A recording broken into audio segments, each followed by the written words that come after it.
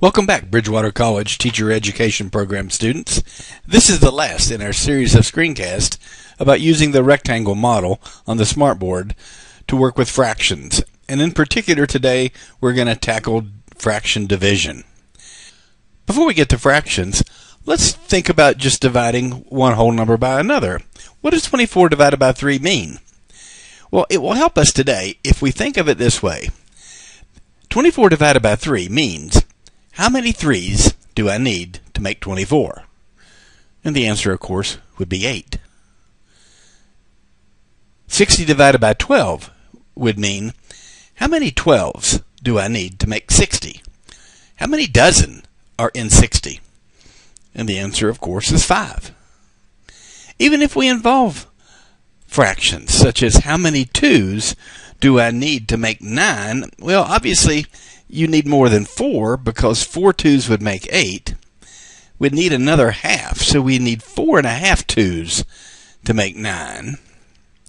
Or how about this problem that does involve the division uh, involving a fraction?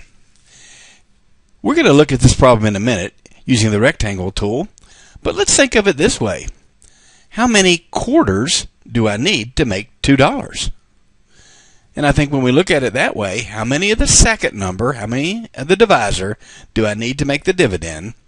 We would agree that the answer to this must be 8. It would take 8 quarters to make $2. Now you've all heard the familiar expression, yours is not to reason why, just invert and multiply. Well, obviously the purpose of this screencast is not to simply give a rule to students and have them memorize the rule and be on their way. The purpose of this screencast is to show exactly how division works, in particular using the rectangle tool. So let's try getting rid of all of these.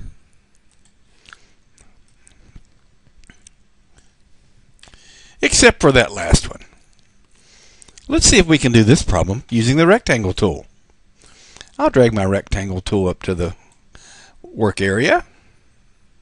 In fact, I have two. After all, we want to say, how many fourths does it take to make two? Well, let's see if we can come up with some fourths. One way I could do this would be to determine my, what my fourths would look like, and I can do that over here to the side.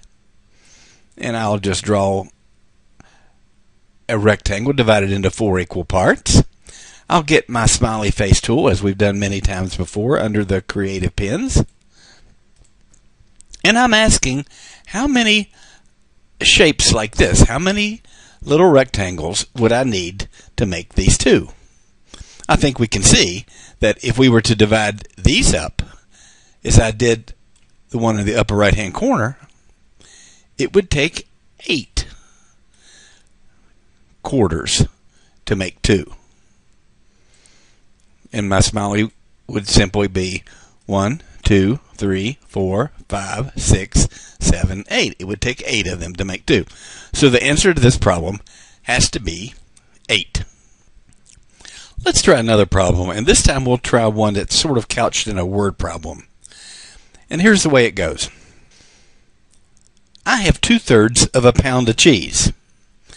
I'm going to be making some meatballs, and the meatballs each need one fourth of a pound for each meatball. How many meatballs can I make from my two thirds pound of cheese? So again, the problem is I have two thirds of a pound of cheese. I'm going to be making meatballs, and each meatball needs one fourth of a pound, and I want to know how many meatballs. In other words, I'm asking how many of the second number does it take to make the first number. So let's start with our tool, our rectangle tool, and let's divide it into thirds. Two thirds would obviously be the first two vertical bars. And I could color those in if I wanted to, but before I do, let's look at what one fourth would look like. There's several ways we could do one fourth. But I'm, I'm going to divide my rectangle into four horizontal sections.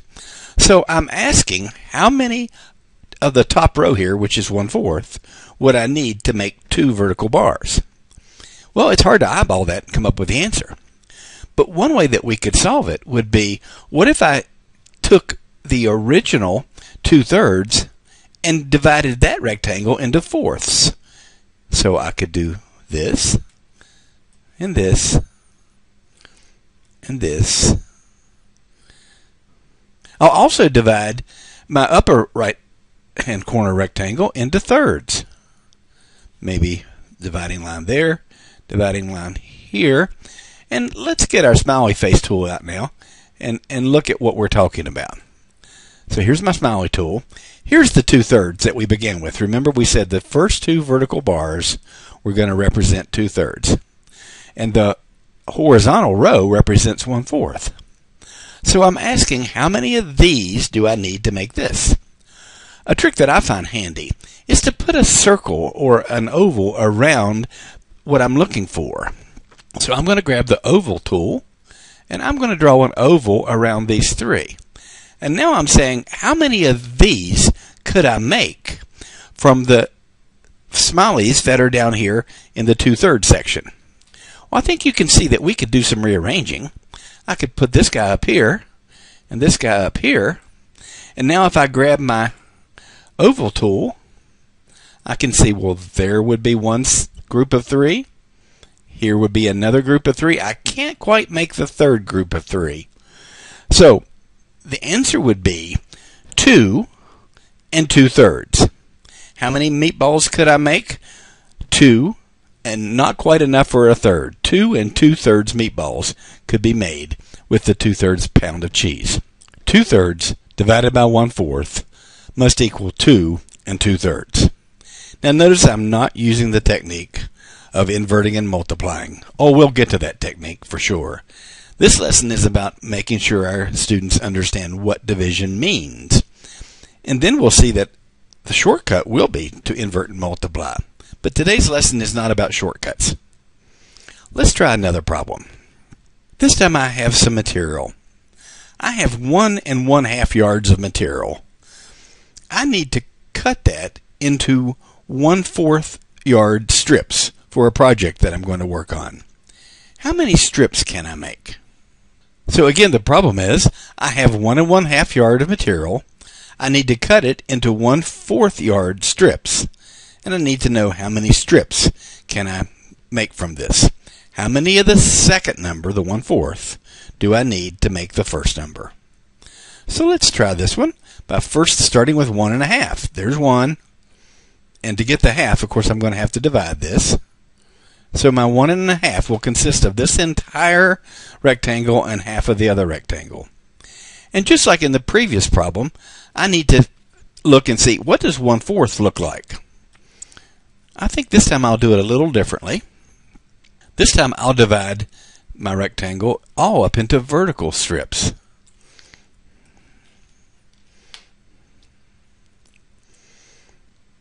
Sure enough, if I get my smiley face, now what I'm saying is, if this represents one fourth, which it does, how many of those do I need to color in this entire block and half of the other block?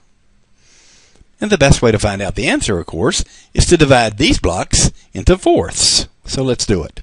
Let's put this divider up and this divider up and this divider up right in the middle one on each side.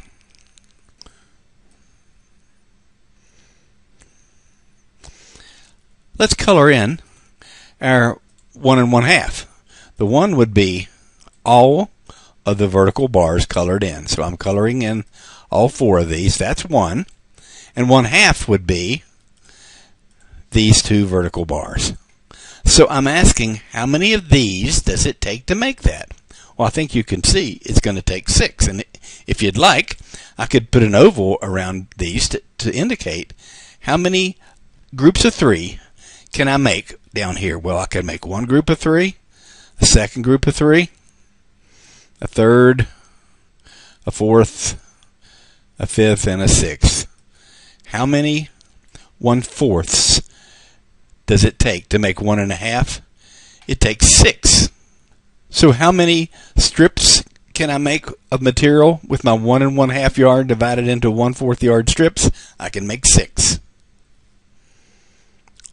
Let's try a third example. I'm going to suppose that I have two and one third acres of land. And I would like to divide that land into half acre lots and sell them. How many lots can I sell that are a half acre in size from my original two and one third acre land? So here's a problem we're looking at. How many half acre lots does it take to make two and one third acres? Let's start by looking at what two and one third acres are going to look like. There's two.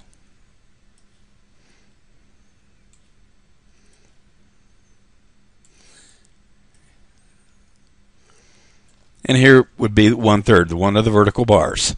So my land consists of this rectangle, this rectangle, and a third of this rectangle. And I'm asking about how many half acre lots. Let's look and see what a half acre lot would look like. I think I'll use the horizontal dividing tool. I'll color with my smiley faces and say I need to know how many of these does it take to make up this area down here. Well, I think it'll be easier for us if we divide the top rectangle into thirds and the bottom rectangles, all three of them, into thirds and halves. So let's start by dividing the top rectangle up into thirds.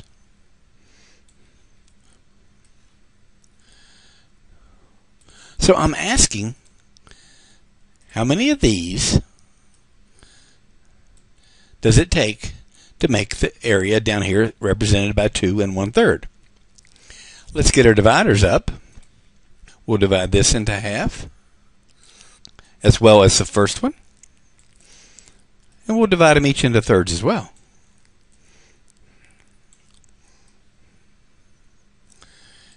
Now I think we can see the answer. Let's use our smiley face and color in 2, that's 1, Here's two.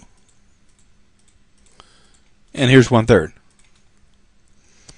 How many of this group can I make from what's down below? I'll use my oval tool again.